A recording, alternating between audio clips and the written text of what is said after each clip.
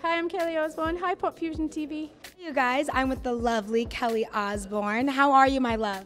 I'm like getting increasingly more nervous, and the fact that we have to stand outside in the sun when I'm already sweating, I'm like, no. You're nervous? She gets nervous, guys. It's not just as normal people. I love it.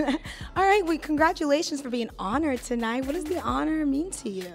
To be honored for something that I care so deeply about and that I that really matters to me, it makes me even more nervous because I always want to make sure I say the right thing. And you hope that when you stand there and you, you thank a community of people that have supported you throughout your whole career and taught me so much about love and acceptance, equality, and beauty that, that you can spread some wisdom too. But when I sit here and stand here, I'm like, well, they're the ones that taught me everything. So hopefully, fingers crossed, I don't mess it up.